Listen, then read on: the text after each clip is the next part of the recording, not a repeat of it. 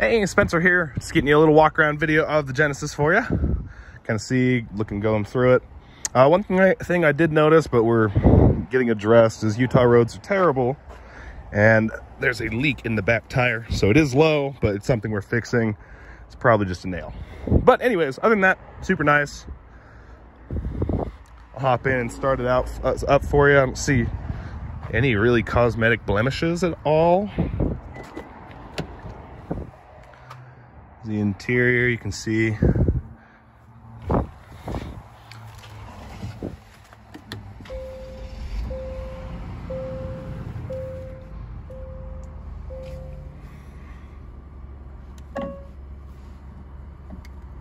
we go. Top down cameras all, everything's in working order.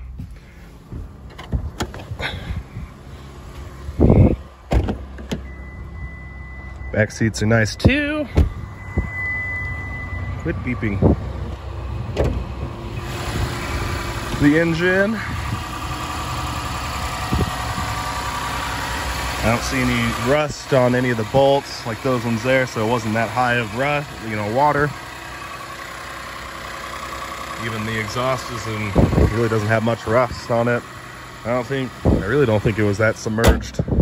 But yeah, let me know if there's anything else I can get you.